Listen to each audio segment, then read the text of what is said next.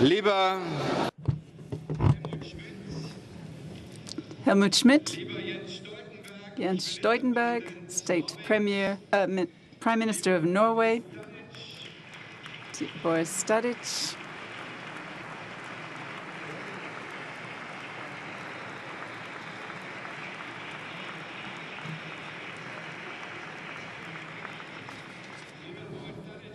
Boris Tadic, President of Serbia, Sergei Stanovic, the new chair of the Social Democratic Party of Europe.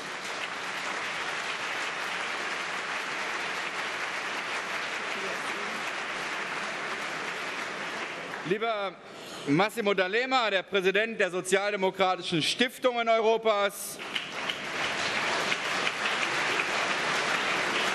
Lieber Borislav Sobotka, der Vorsitzende der tschechischen Sozialdemokratie, liebe Gäste aus dem In- und Ausland, liebe Freundinnen und Freunde und liebe Genossinnen und Genossen. Ich glaube, für uns alle ist dieser Auftakt heute Morgen eine besondere Veranstaltung, bevor der Bundesparteitag beginnt. Bevor wir über Anträge, Resolutionen, über unsere Arbeit diskutieren und entscheiden, wollen wir über die Lage in Europa reden. Das heißt, eigentlich wollen wir zuhören, denn wir haben einen ganz besonderen Gast eingeladen, zu uns zu sprechen, der mit seiner eigenen Biografie, seinen persönlichen Erfahrungen, seiner politischen und journalistischen Lebensleistung wie kaum ein anderer in der Lage ist, einen Blick auf unseren Kontinent zu werfen. Unser Gast ist vor allem Weltbürger und ein bis heute nicht nur überzeugter, sondern kämpferischer Europäer, der die Zeiten kennt, in denen es kein friedliches und miteinander vereintes Europa gab und deshalb umso mehr zu schätzen weiß, von welch großer Bedeutung dieses Europa für uns alle ist, für uns Deutsche allemal. Sie alle wissen, von wem ich spreche. Begrüßen Sie mit mir herzlich den Bundeskanzler Helmut Schmidt hier bei uns in Berlin. Herzlich willkommen, Helmut.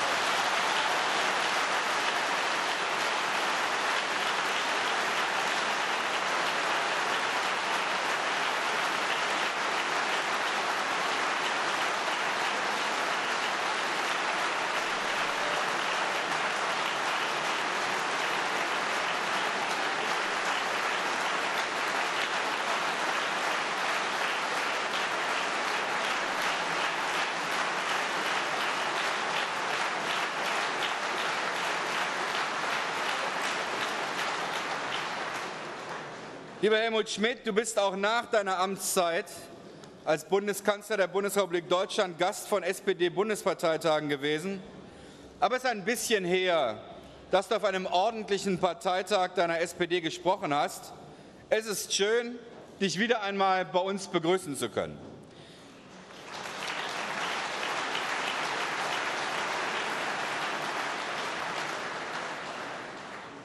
Helmut Schmidt ist in den letzten Jahren allerdings immer wieder Gast der SPD-Bundestagsfraktion gewesen. Die dort gehaltenen Reden drehten sich fast immer um die großen Herausforderungen der Welt, die Rolle Europas dabei, die Konsequenzen für Deutschland und die sich daraus ergebenden Schlussfolgerungen für die SPD. Diese Sichtweise auf die Welt, dann auf Europa dann auf Deutschland und dann erst auf die eigene Partei. Das ist die Sichtweise, die wir heute brauchen. Andersherum, sozusagen aus der Froschperspektive des Nutzens für die eigene Partei und des nationalstaatlichen Egoismus, wird nicht nur Europa, sondern auch unser eigenes Land Deutschland in die Sackgasse geführt, liebe Genossinnen und Genossen. Und leider ist diese Froschperspektive in den letzten Jahren wieder in Mode gekommen. Und wir sagen, Deutsche Sonderwege darf es nie wieder geben, militärisch sowieso nicht, aber auch nicht ökonomisch und politisch, meine Damen und Herren.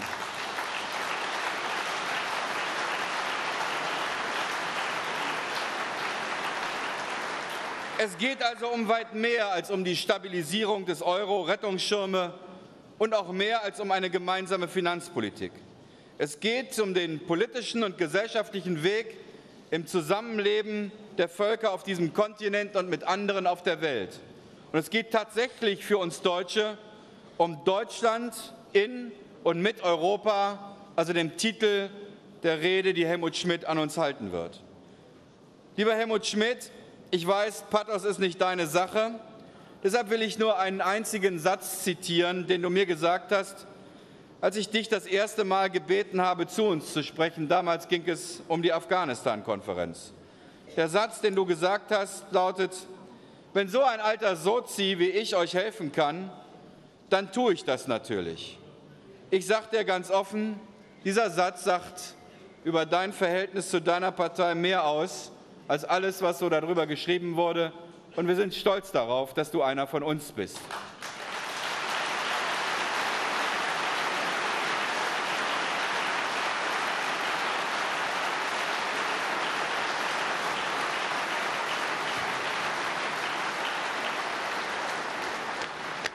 Und deshalb nochmal herzlich willkommen. Du hast das Wort.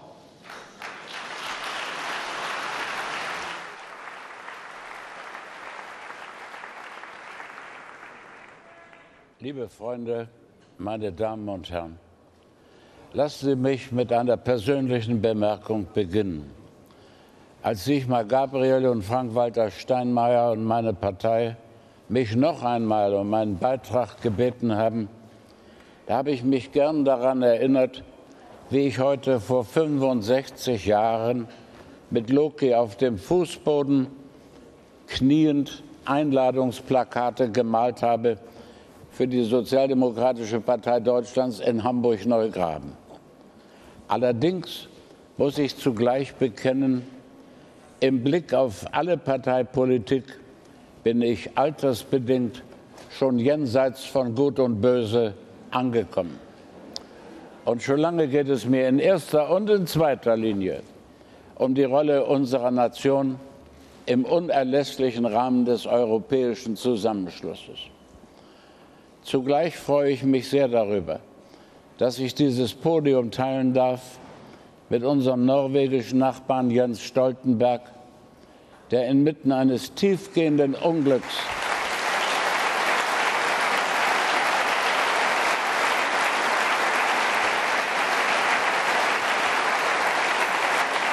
der in, inmitten eines tiefgehenden Unglücks seiner Nation uns und allen Europäern ein wegweisendes Beispiel gegeben hat an unbeirrbarer rechtsstaatlicher, liberaler und demokratischer Führung.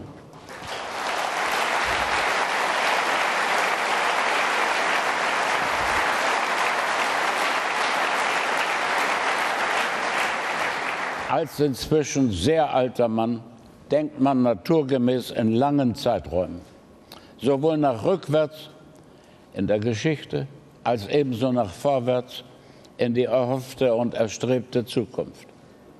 Gleichwohl habe ich vor einigen Tagen auf eine sehr einfache Frage keine eindeutige Antwort geben können. Wolfgang Thierse hatte mich gefragt, wann wird Deutschland endlich ein normales Land? Und ich habe geantwortet, in absehbarer Zeit wird Deutschland kein normales Land sein. Denn dagegen steht unsere ungeheure, aber einmalige historische Belastung. Und außerdem steht dagegen unsere demografisch und ökonomisch übergewichtige Zentralposition inmitten unseres kleinen, aber vielfältig nationalstaatlich gegliederten europäischen Kontinents. Und damit bin ich schon mitten in dem komplexen Thema meines Vortrags, nämlich Deutschland in Europa, Deutschland mit Europa und Deutschland für Europa. Auch wenn in einigen wenigen der rund 40 Nationalstaaten Europas das heutige Nationenbewusstsein sich erst verspätet entfaltet hat, so in Italien, in Griechenland, in Deutschland, so hat es doch überall und immer wieder blutige Kriege gegeben. Man kann diese europäische Geschichte von Mitteleuropa aus betrachtet, man kann sie auch auffassen als eine schier endlose Folge von Kämpfen zwischen Peripherie und Zentrum und umgekehrt zwischen Zentrum und Peripherie. Und dabei blieb das Zentrum immer wieder das entscheidende Schlachtfeld. Wenn die Herrscher, die Staaten oder die Völker im Zentrum Europas schwach waren, dann stießen ihre Nachbarn aus der Peripherie in das schwache Zentrum vor. Die größte Zerstörung und die relativ größten Verluste an Menschenleben hat es im ersten Dreißigjährigen Krieg gegeben, 1618 bis 1648. Er hat sich im Wesentlichen auf deutschem Boden abgespielt. Deutschland war damals bloß ein geografischer Begriff, unscharf definiert durch den deutschen Sprachraum. Später kamen die Franzosen wieder unter Louis XIV und abermals unter Napoleon. Die Schweden sind nicht ein zweites Mal gekommen, wohl aber mehrfach die Engländer, die Russen, beim letzten Mal unter Stalin. Wenn aber die Dynastien oder die Staaten im Zentrum Europas stark waren oder wenn sie sich stark gefühlt haben, dann sind sie umgekehrt gegen die Peripherie vorgestoßen. Das galt bereits für die Kreuzzüge, die gleichzeitig Eroberungszüge waren nicht nur in Richtung Kleinasien und Jerusalem, sondern ebenso in Richtung Ostpreußen und in alle drei heutigen baltischen Staaten. In der Neuzeit galt es abermals für den Krieg gegen Napoleon und es hat gegolten für die drei Kriege Bismarcks 1864 und 66 und 1870 71. Und das Gleiche gilt vor allem für den zweiten Dreißigjährigen Krieg von 1914 bis 1945. Und es gilt insbesondere für Hitlers Vorstöße bis an das Nordkap, bis in den Kaukasus, bis auf das griechische Kreta, bis nach Südfrankreich und sogar bis nach Tobruk an der libysch-ägyptischen Grenze. Die Katastrophe Europas durch Deutschland provoziert, hat die Katastrophe der europäischen Juden eingeschlossen und sie hat die Katastrophe des deutschen Nationalstaates eingeschlossen.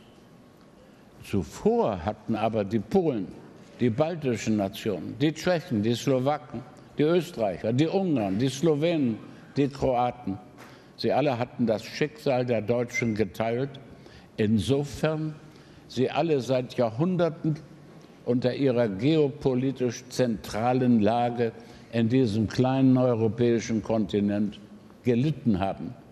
Man kann es auch anders sagen. Mehrfach haben wir Deutschen andere unter unserer zentralen Machtposition leiden lassen. Heutzutage sind die konfligierenden territorialen Ansprüche, die Sprach- und die Grenzkonflikte, die noch in der ersten Hälfte des 20. Jahrhunderts im Bewusstsein der Nationen eine sehr große Rolle gespielt haben, die sind de facto heute, jedenfalls für uns Deutsche, weitgehend bedeutungslos geworden.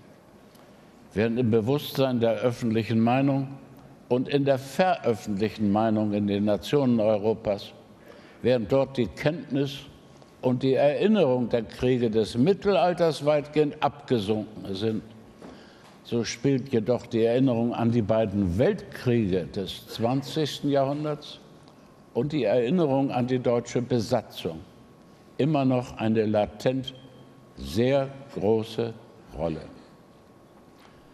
Für uns Deutsche scheint mir entscheidend zu sein, dass fast alle Nachbarn Deutschlands und außerdem alle Juden auf der ganzen Welt, dass sie sich des Holocaust und der Schandtaten erinnern, die zur Zeit der deutschen Besatzung in den Ländern der Peripherie geschehen sind. Wir Deutschen sind uns nicht ausreichend im Klaren darüber, dass bei fast allen unseren Nachbarn wahrscheinlich noch für viele Generationen ein latenter Archwohn gegen die Deutschen besteht.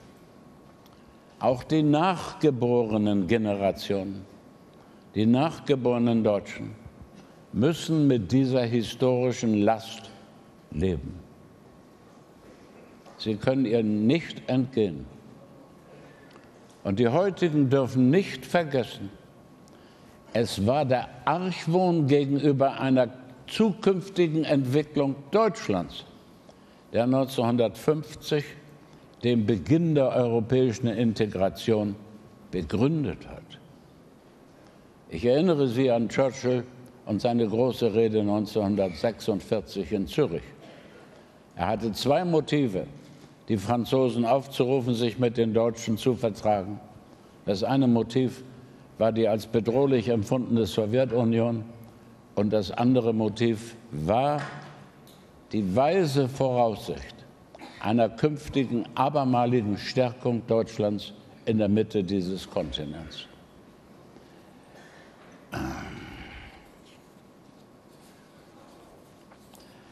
Wer dieses Ursprungsmotiv der europäischen Integration, ein Motiv, das immer noch ein tragendes Element ist, wer dies nicht verstanden hat, dem fehlt eine unverzichtbare Voraussetzung für die Lösung der gegenwärtig höchst prekären Krise Europas.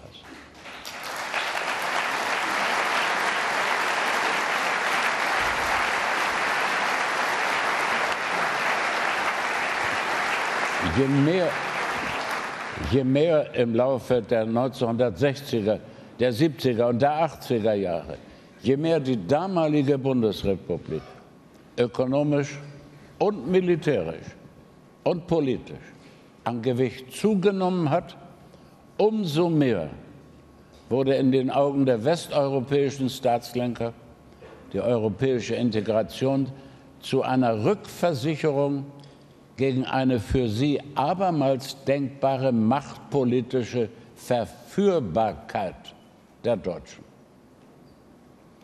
Der anfängliche Widerstand, zum Beispiel Margaret Thatchers oder Mitterrands oder Andreottis, der Widerstand 1800, 1989 und 90 gegen eine Vereinigung der beiden deutschen Nachkriegsstaaten war eindeutig begründet in der Besorgnis vor einem allzu starken Deutschland im Zentrum dieses kleinen europäischen Kontinents.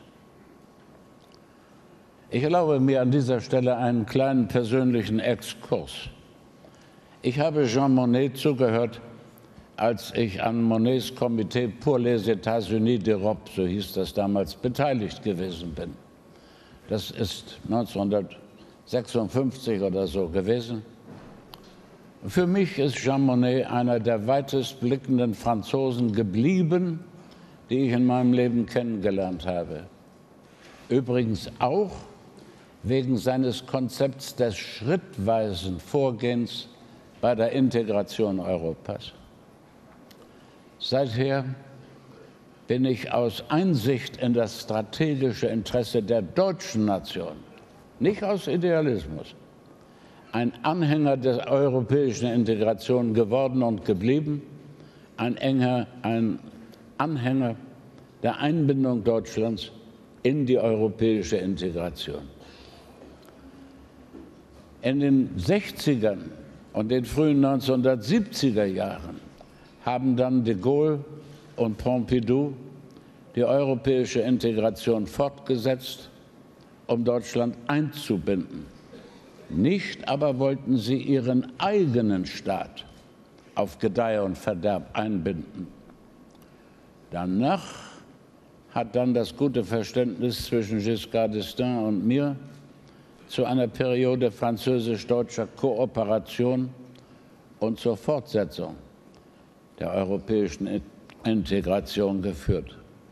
Eine Periode, die nach dem Frühjahr 1990 zwischen Mitterrand und Kohl erfolgreich fortgesetzt worden ist. Und zugleich ist die seit 1950 oder 52 ist äh, seit diesem Jahr die Europäische Gemeinschaft bis 1991 schrittweise von sechs auf zwölf Mitgliedstaaten gewachsen.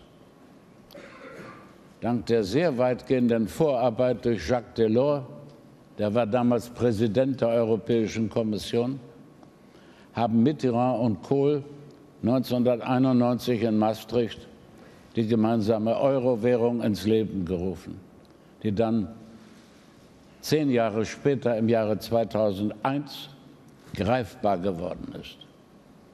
Zugrunde lag abermals die französische Besorgnis vor einem übermächtigen Deutschland, genauer gesagt vor einer übermächtigen D-Mark und,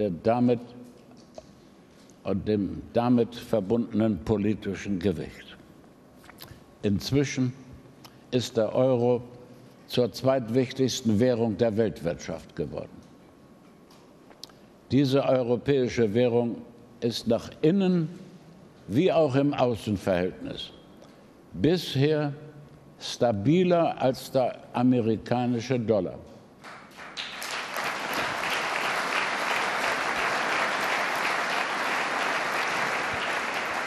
Und sie ist in den zehn Jahren ihrer Existenz stabiler als die D-Mark in ihren letzten zehn Jahren gewesen ist.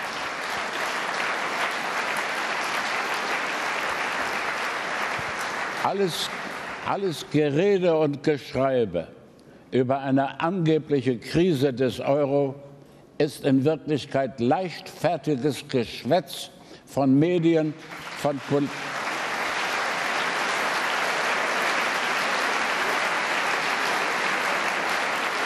Wir warten mal ab, was noch kommt. Von Medien, von Journalisten und leichtfertiges Geschwätz von Politikern.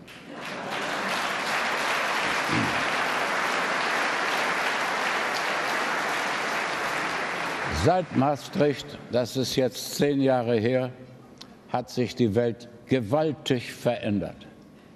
Wir haben die Befreiung der Nationen im Osten Europas, wir haben die Implosion der Sowjetunion erlebt. Wir erleben den phänomenalen Aufstieg Chinas, Indiens, Brasiliens und anderer sogenannter Schwellenländer. Früher hat man die pauschal die dritte Welt genannt. Gleichzeitig haben sich die tatsächlichen Volkswirtschaften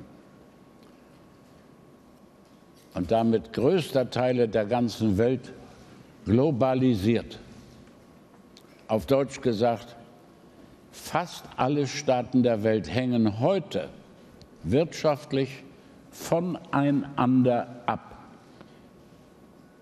Vor allem aber haben die Akteure auf den globalisierten Finanzmärkten sich eine einstweilen ganz unkontrollierte Macht angeeignet.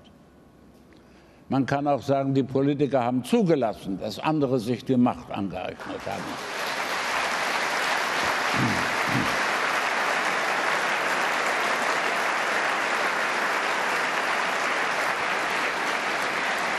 Aber zugleich und beinahe ganz unbemerkt hat sich die Menschheit explosionsartig auf sieben Milliarden Menschen vermehrt.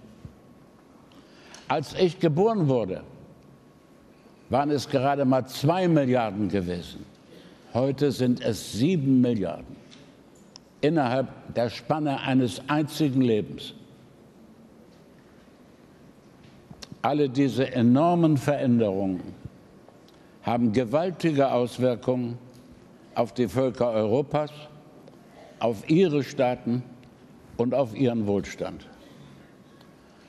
Auf der anderen Seite überaltern alle europäischen Nationen und alle europäischen Nationen schrumpfen nach der Zahl ihrer Bürger. Der ganze Rest der Welt ist explodiert, aber die Europäer allesamt überaltern und schrumpfen. In der Mitte dieses 21. Jahrhunderts werden vermutlich sogar neun Milliarden Menschen auf der Welt leben. Während dann die europäischen Nationen alle zusammen nur ganze sieben Prozent der Weltbevölkerung ausmachen werden. Sieben Prozent von neun Milliarden Menschen im Jahre 2050.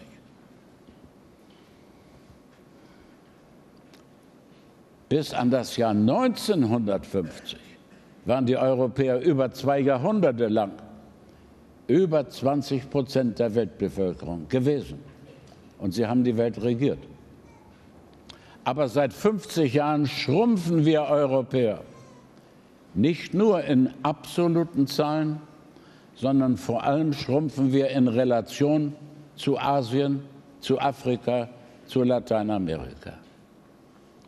Und ebenso schrumpft der Anteil der Europäer am globalen Sozialprodukt.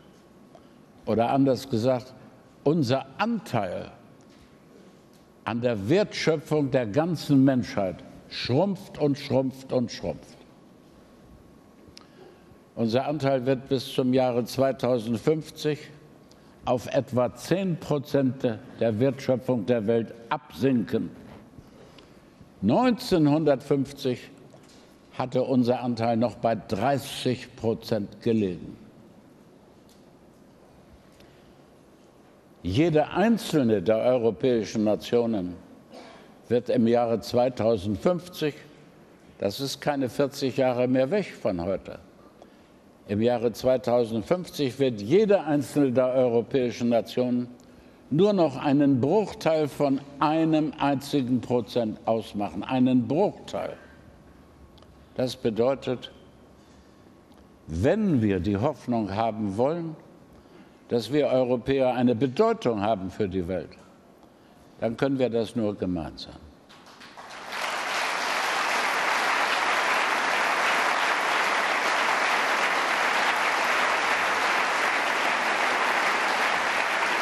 Denn als,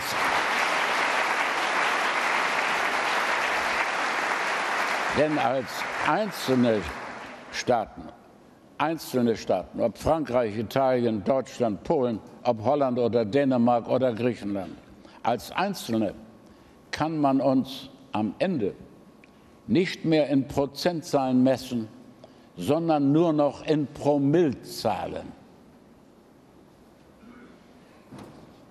Daraus ergibt sich das langfristig strategische Interesse der europäischen Nationalstaaten an einem integrierenden Zusammenschluss.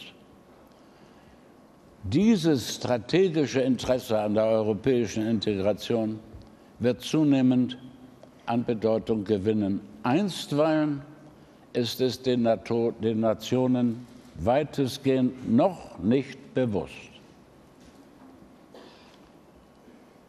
Es wird ihnen durch ihre Regierung leider auch nicht bewusst gemacht.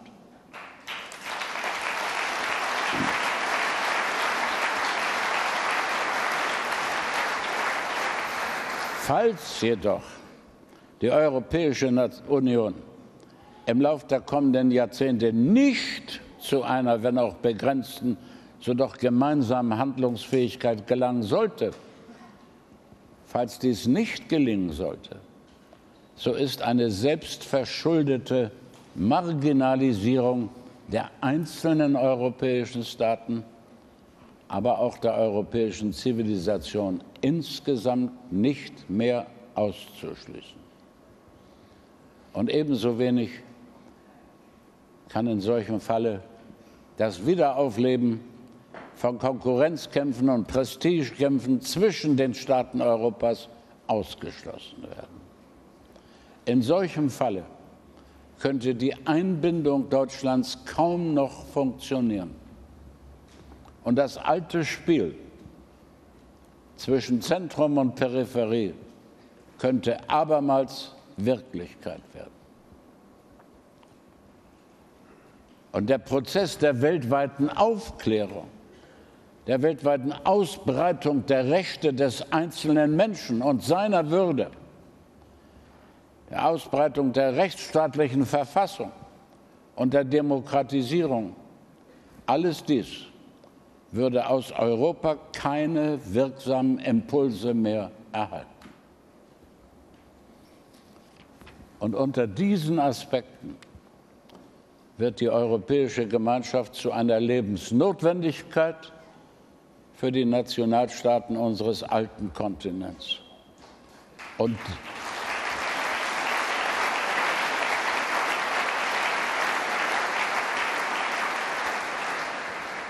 Und diese Notwendigkeit, die reicht allerdings über die Motive von Churchill und von de Gaulle hinaus.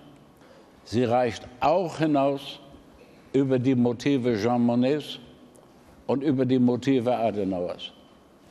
Und sie überwebt heute auch die Motive von Ernst Reuter oder Fritz Erler oder Carlo Schmid oder Willy Brandt und ebenso die Motive von Helmut Kohl.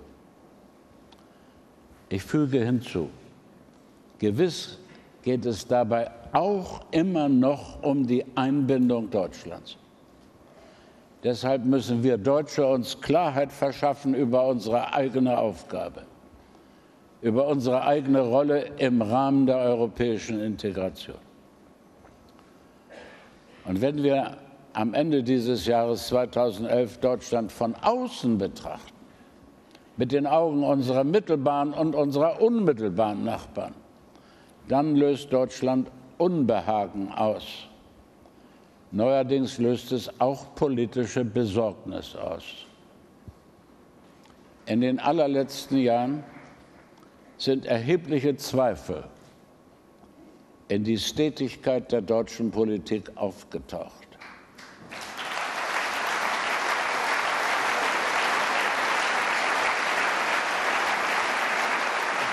Das, das Vertrauen in die Verlässlichkeit der deutschen Politik ist beschädigt. Dabei beruhen diese Zweifel und Besorgnisse auch auf außenpolitischen Fehlern unserer deutschen Politiker und Regierungen. Sie beruhen zum anderen Teil auf der für die Welt überraschenden ökonomischen Stärke der Vereinigten Bundesrepublik.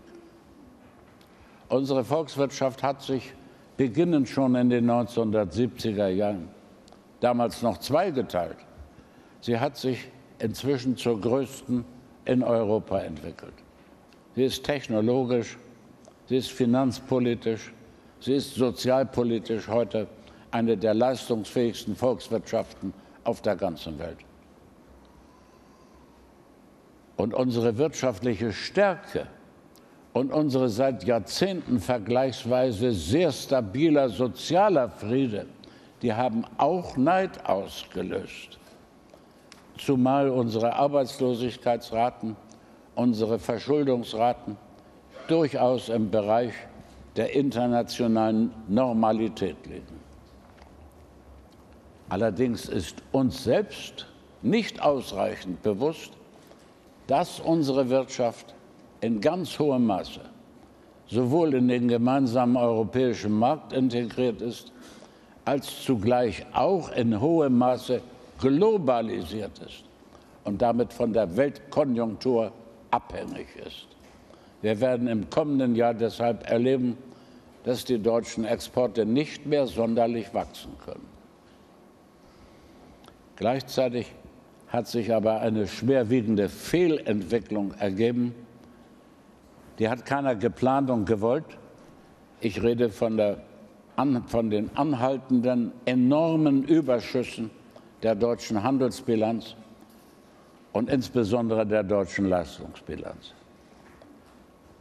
Diese Überschüsse machen seit Jahren etwa 5 Prozent unseres Sozialproduktes aus die sind ähnlich groß wie die Überschüsse der Volksrepublik China.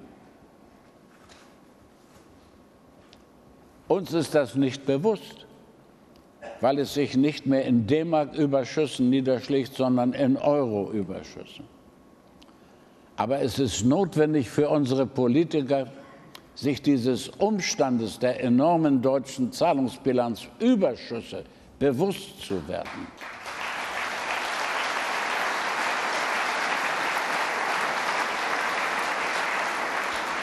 Denn, denn diese unsere Überschüsse sind in Wirklichkeit die Defizite der anderen europäischen Staaten.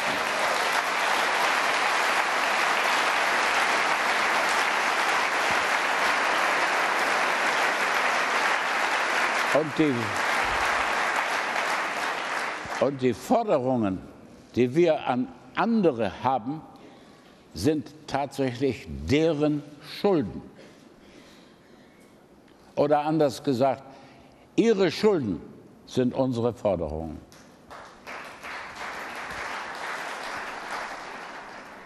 Es handelt sich um eine ärgerliche Verletzung des einstmals von uns zum gesetzlichen Ideal, das war 1967, erhobenen außenwirtschaftlichen Gleichgewichts.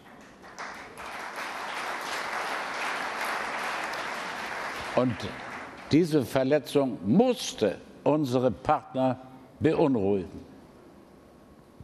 Wenn es neuerdings ausländische, meistens amerikanische oder englische Stimmen gibt, inzwischen kommen sie von vielen Seiten, die von Deutschland eine europäische Führungsrolle verlangen, so weckt all dies zusammen bei unseren Nachbarn zugleich zusätzlichen Argwohn. Und es weckt böse Erinnerungen.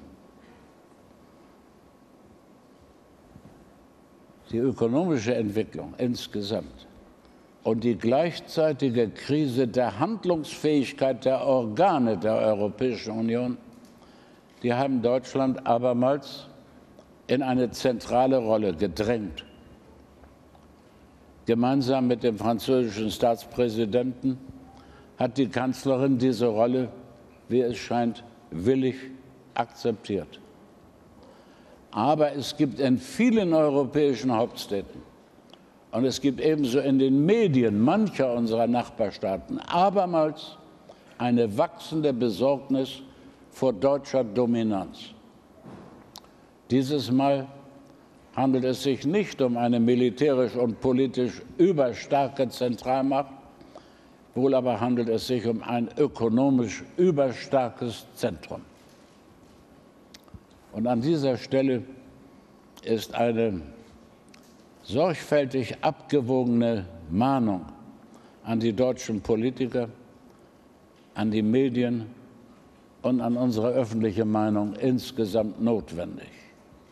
Wenn wir Deutschen uns verführen ließen, gestützt auf unsere ökonomische Stärke, wenn wir uns verführen ließen, eine Führungsrolle in Europa zu beanspruchen oder doch wenigstens den Primus inter pares zu spielen, so würde eine zunehmende Mehrheit unserer Nachbarn sich wirksam dagegen wehren.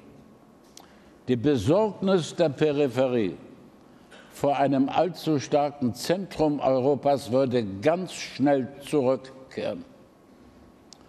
Und die wahrscheinlichen Konsequenzen solcher Entwicklung wären für die Europäische Union verkrüppelnd und Deutschland würde in Isolierung fallen.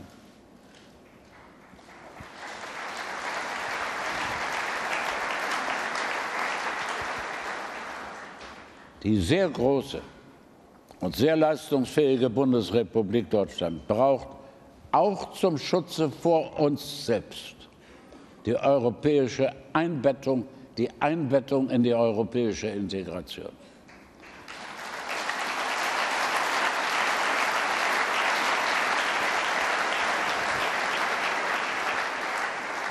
Und weil man das schon vor 20 Jahren erkannt hat, Deswegen gilt seit Helmut Kohls Zeiten, seit 1992, der Artikel 23 des Grundgesetzes, der uns verpflichtet zur Mitwirkung wörtlich bei der Entwicklung der Europäischen Union. Gänsefüßchen oben. Der Artikel 23 verpflichtet uns für diese Mitwirkung auch zu dem Grundsatz der Subsidiarität. Und die gegenwärtige Krise der Handlungsfähigkeit der Organe der Europäischen Union ändert nichts an diesen Grundsätzen des deutschen Grundgesetzes.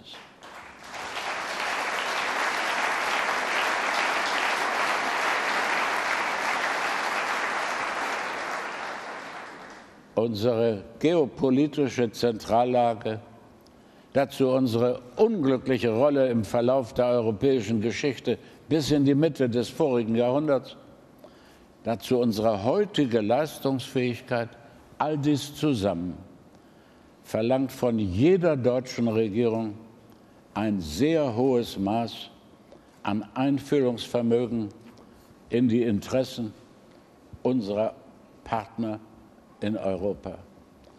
Und unsere deutsche Hilfsbereitschaft ist unerlässlich.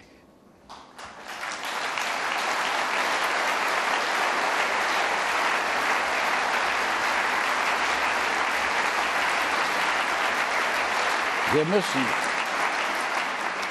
wir müssen uns erinnern, wir Deutschen haben doch unsere große Wiederaufbauleistung der letzten 20, der letzten sechs Jahrzehnte, der letzten 60 Jahre. Wir haben sie doch auch nicht allein oder nur aus eigener Kraft zustande gebracht.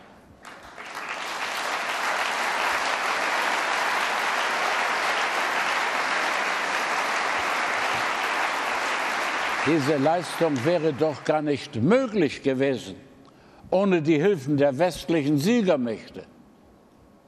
Sie wäre nicht möglich gewesen ohne unsere Einbettung in die europäische Gemeinschaft.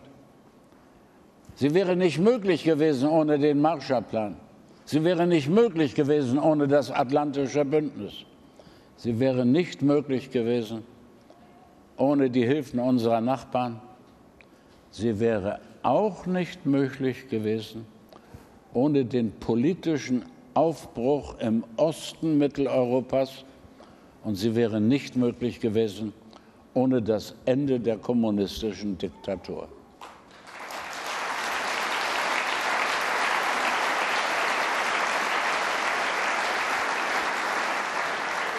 Wir Deutschen haben durchaus Grund zur Dankbarkeit. Und zugleich haben wir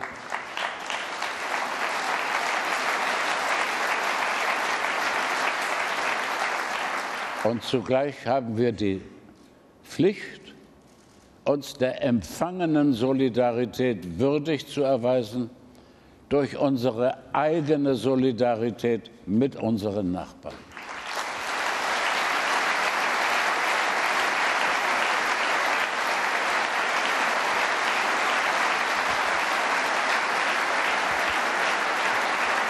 Dagegen Dagegen wäre ein Streben nach einer eigenen Rolle in der Weltpolitik und das Streben nach weltpolitischem Prestige, das wäre alles ziemlich unnütz, wahrscheinlich sogar schädlich.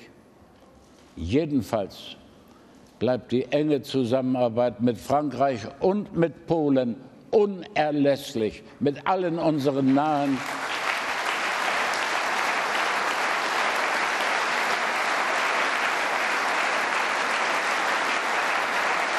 Zusammenarbeit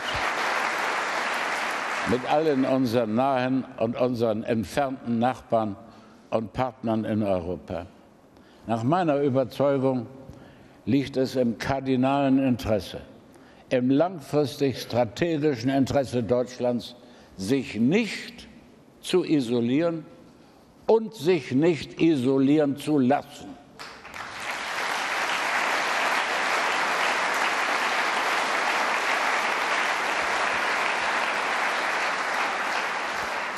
Eine Isolierung innerhalb des Westens wäre gefährlich.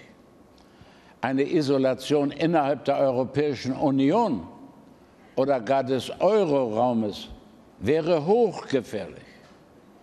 Für mich rangiert dieses Interesse Deutschlands eindeutig höher als jedwedes taktische Interesse aller unserer politischen Parteien.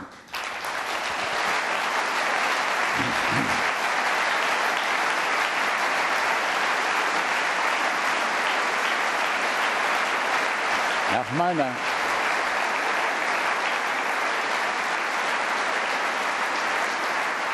nach meiner Überzeugung haben die deutschen Politiker und die deutschen Medien, sie haben die verdammte Pflicht und Schuldigkeit, diese Einsicht nachhaltig in der öffentlichen Meinung zu vertreten.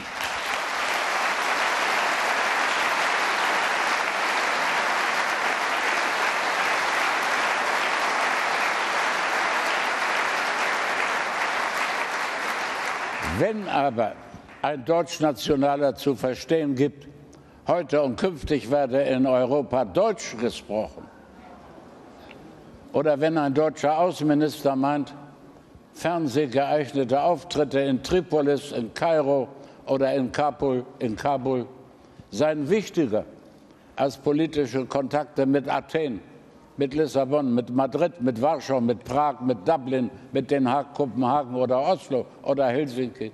Wenn ein anderer meint, europäische Transferunion müsse er verhüten, dann ist das alles bloß schädliche deutschnationale Kraftmeierei.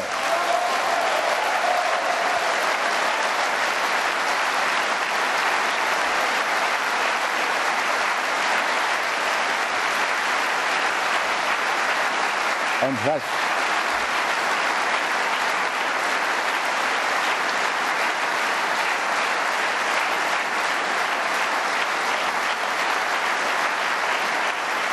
Und was die, äh,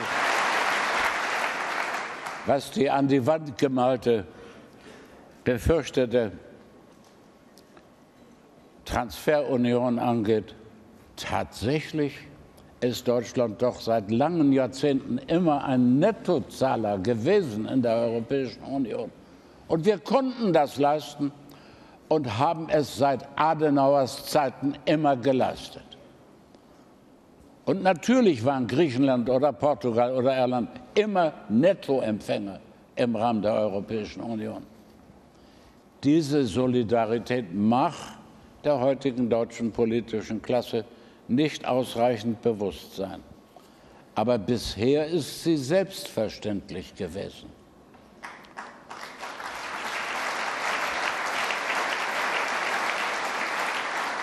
Und ebenso selbstverständlich und außerdem seit Lissabon vertraglich vorgeschrieben ist das Prinzip der Subsidiarität. Das, was ein Staat nicht selbst regeln oder selbst bewältigen kann, das muss die Europäische Union übernehmen.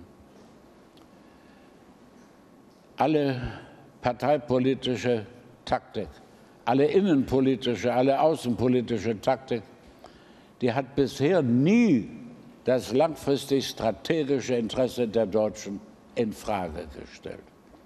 Deshalb konnten alle unsere Nachbarn und Partner sich jahrzehntelang auf die Stetigkeit der deutschen Europapolitik verlassen. Und diese Kontinuität, diese Stetigkeit bleibt auch in Zukunft uns geboten.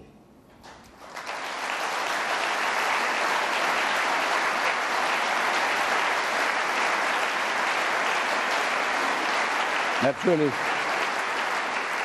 natürlich waren so wie unsere finanziellen Beiträge, so waren auch unsere konzeptionellen Beiträge immer selbstverständlich.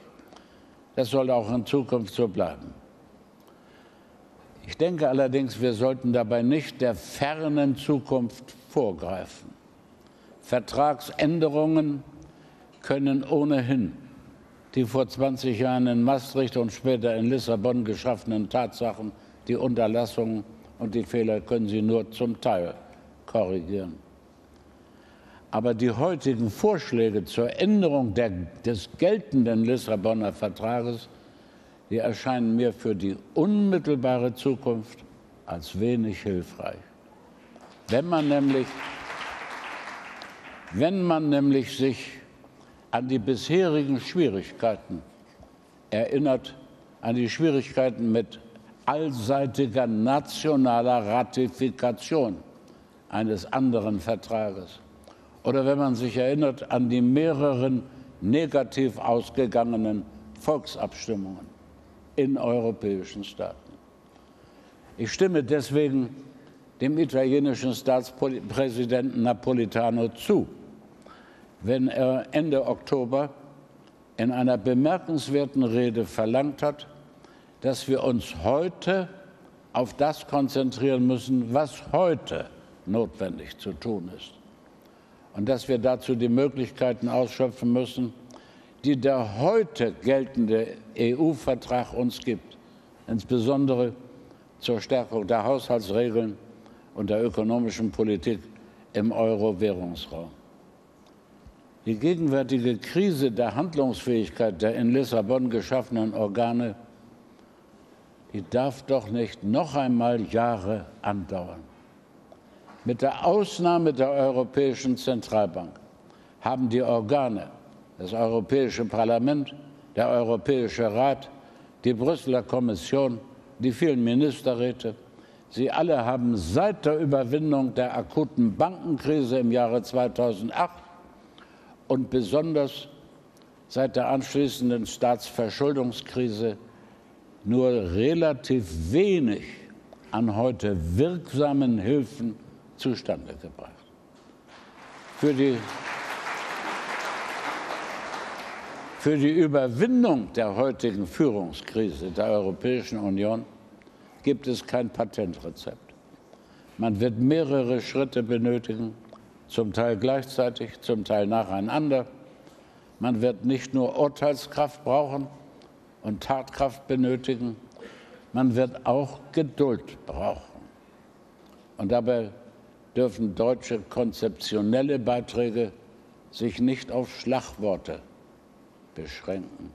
Sie sollten auch nicht auf dem Fernsehmarktplatz, sondern sie sollten stattdessen vertraulich im Rahmen der Gremien der Organe der Europäischen Union vorgetragen werden.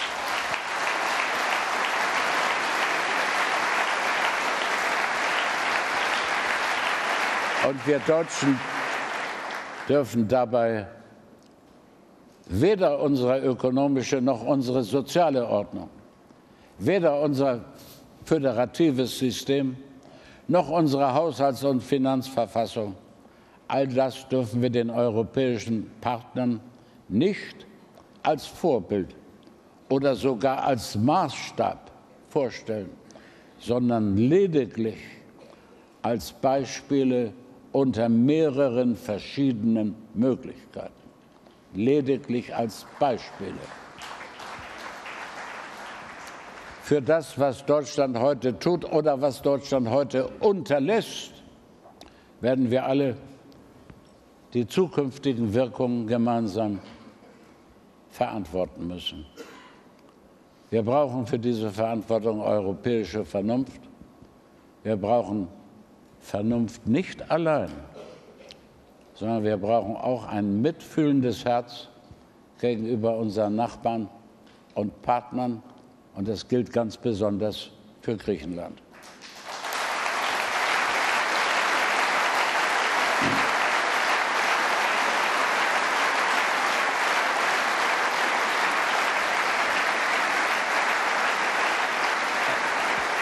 Es gibt übrigens in diesem Zusammenhang einen wichtigen Punkt, in dem ich mit Jürgen Habermas übereinstimme, der jüngst davon gesprochen hat, ich zitiere ihn, dass wir tatsächlich jetzt zum ersten Mal in der Geschichte der Europäischen Union einen Abbau von Demokratie erleben.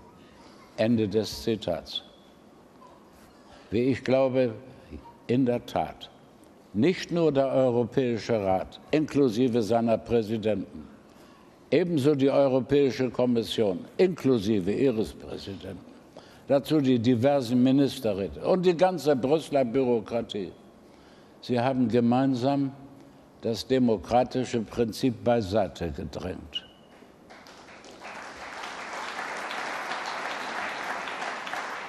Damals, als wir die Volkswahl zum Europäischen Parlament eingeführt haben, bin ich dem Irrtum unterlegen, das Parlament würde sich schon selber Gewicht verschaffen. Tatsächlich hat es bisher auf die Bewältigung der Krise keinen erkennbaren Einfluss genommen. Und seine Beratungen und Entschlüsse sind bisher ohne öffentliche Wirkung geblieben. Und deswegen möchte ich an Martin Schulz appellieren. Es wird höchste Zeit, dass Sie und Ihre christdemokratischen, Ihre sozialdemokratischen, Ihre sozialistischen, Ihre liberalen und Ihre grünen Kollegen, dass Sie sich gemeinsam, aber drastisch zu öffentlichem Gehör, Gehör bringen.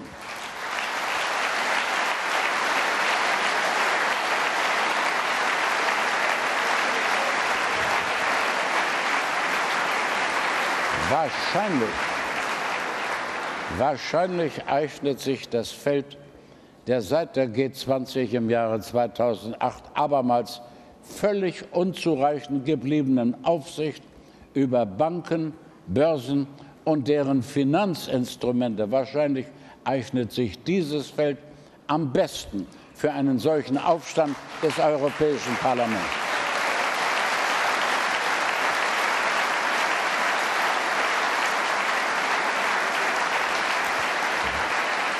Denn tatsächlich haben einige zigtausende Finanzhändler in den USA und in Europa und dazu einige Rating Agencies, die haben die politisch Verantwortlichen in Europa zu Geiseln genommen. Es ist, es ist leider kaum zu erwarten, dass Barack Obama viel dagegen ausrichten wird. Und das Gleiche gilt für die britische Regierung. Tatsächlich haben zwar die Regierungen der ganzen Welt im Jahre 2008 und 2009 mit Garantien und mit dem Geld der Steuerzahler die Banken gerettet. Aber schon seit 2010 spielt diese Herde von hochintelligenten und zugleich psychoseanfälligen Finanzmanagern abermals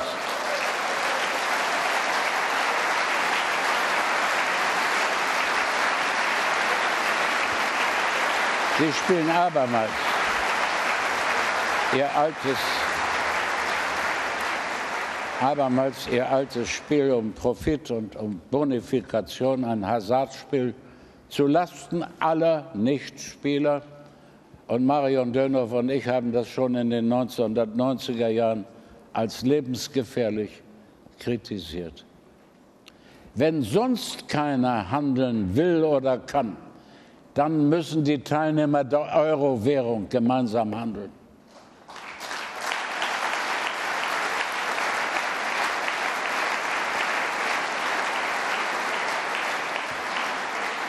Der Weg dahin kann über den Artikel 20 des geltenden EU-Vertrages von Lissabon gehen. Dort ist ausdrücklich vorgesehen, dass einzelne oder mehrere Mitgliedstaaten der Europäischen Union untereinander, ich zitiere wörtlich, eine verstärkte Zusammenarbeit begründen. Ende des Zitats. Jedenfalls aber sollten die an der gemeinsamen Euro-Währung beteiligten Staaten gemeinsam für den Euroraum durchgreifende Regulierungen ihres gemeinsamen Finanzmarktes ins Werk setzen.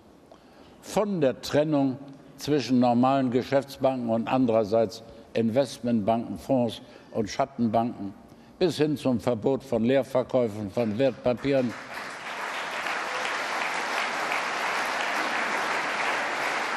bis hin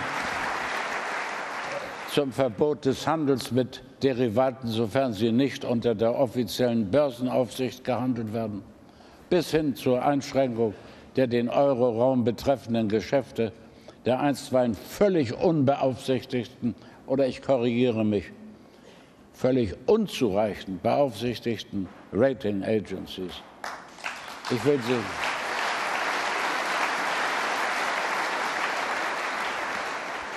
Ich will Sie nicht mit weiteren Details belasten. Natürlich würde die globalisierte Bankenlobby abermals alle Hebel dagegen in Bewegung setzen. Er hat ja schon bisher alle durchgreifenden Regulierungen erfolgreich verhindert. Sie hat für sich selbst ermöglicht, dass die Herde ihrer Händler die europäischen Regierungen in die Zwangslage gebracht haben, immer neue Rettungsschirme erfinden zu müssen oder sie durch sogenannte Hebel auszuweiten. Es wird hohe Zeit, sich dagegen zu wehren.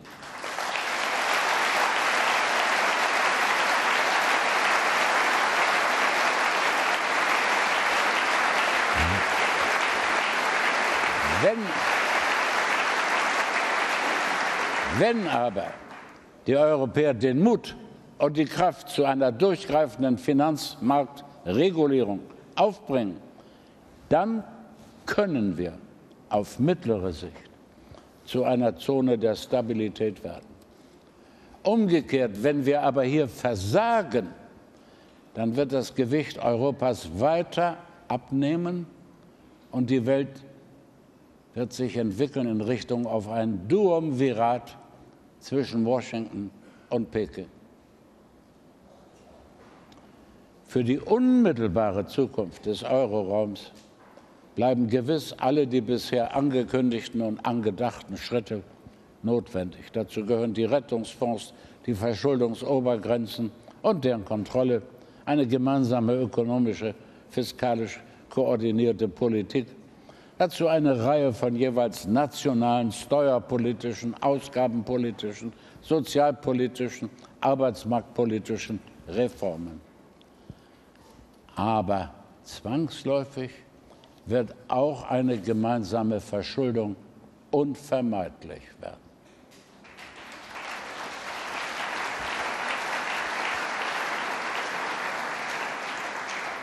Und wir Deutschen dürfen uns dem nicht national egoistisch versagen.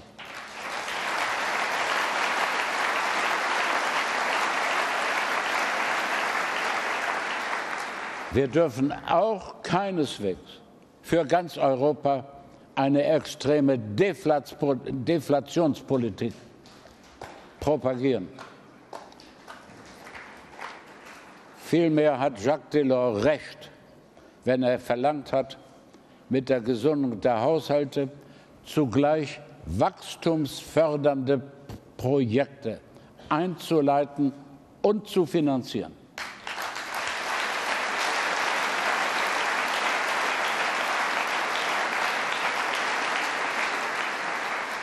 Ohne Wachstum, ohne neue Arbeitsplätze kann kein Staat seinen Haushalt sanieren.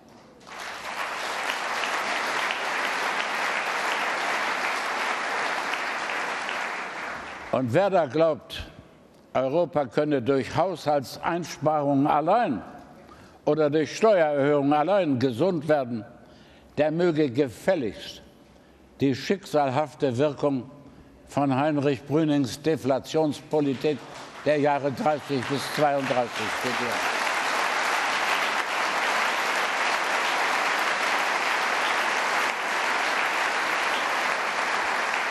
Diese Deflationspolitik hat damals eine Depression und ein unerträgliches Ausmaß von Arbeitslosigkeit ausgelöst. Und sie hat damit den Untergang des ersten deutschen Demokratieversuches eingeleitet. Zum Schluss, liebe Freunde, eigentlich muss man nicht so sehr den deutschen Sozialdemokraten Solidarität predigen. Eigentlich nicht.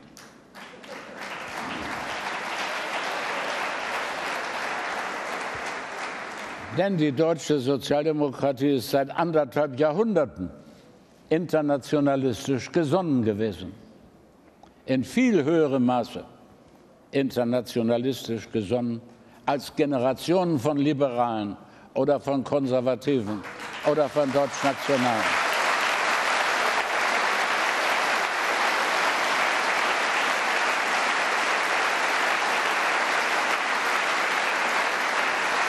Und, und wir Sozis haben zugleich festgehalten an der Freiheit und an der Würde jedes einzelnen Menschen.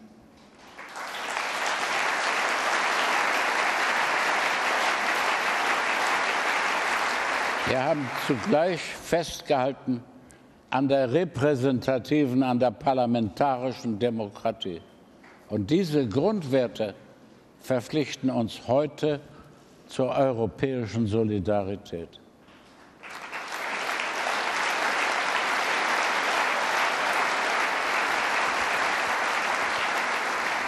Europa wird gewiss auch im 21. Jahrhundert aus Nationalstaaten bestehen. Jeder mit seiner eigenen Sprache, mit seiner eigenen Geschichte. Und deshalb wird aus Europa kein Bundesstaat werden.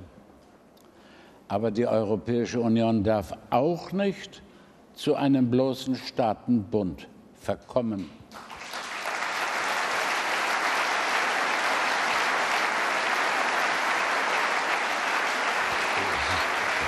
sondern die Europäische Union muss bleiben ein dynamisch sich entwickelnder Verbund, auch wenn es dafür in der ganzen Menschheitsgeschichte bisher kein Vorbild und kein Beispiel gibt. Und wir Sozialdemokraten müssen zur schrittweisen Entfaltung dieses Verbundes beitragen.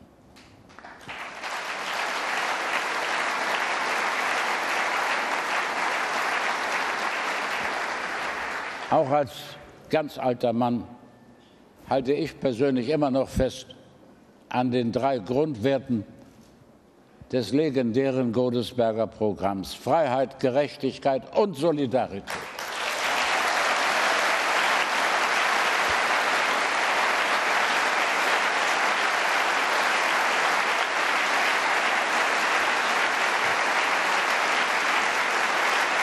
Und vielleicht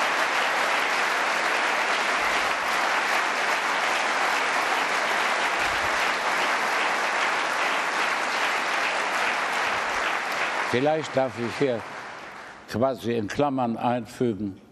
Ich denke übrigens, was das Thema Gerechtigkeit angeht, dass heute die Gerechtigkeit vor allem verlangt Chancengleichheit für Kinder, für Schüler und für junge Leute insgesamt.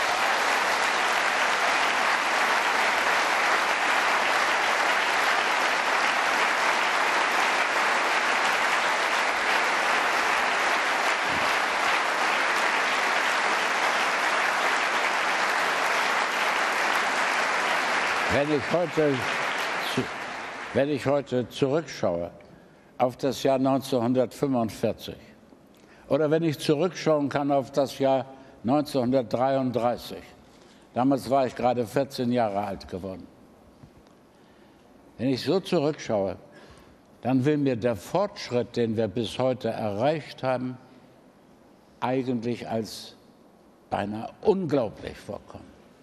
Unglaublich. Ein Fortschritt, den die Europäer seit dem Marshallplan 1948, seit dem Schumann-Plan 1950, den wir erreicht haben dank Lech Wałęsa und Solidarność, den wir erreicht haben dank Václav Havel und Charta 77, den wir dank jener Deutschen in Leipzig und in Ostberlin erreicht haben, den wir seit der großen Wende 1989 bis 1991 heute erreicht haben. Beinahe unglaublich.